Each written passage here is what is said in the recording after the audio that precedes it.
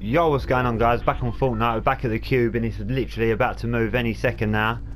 Let's see if it comes this way. Here we go. Oh no, it's still going right straight.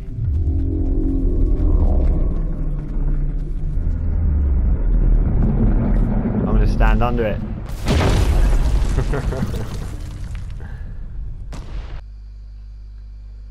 right, here we go, here's the replay of it.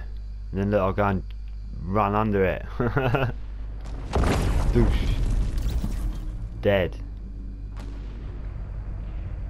They shouldn't have really killed me, man, because there's like a... Look. There's like a gap.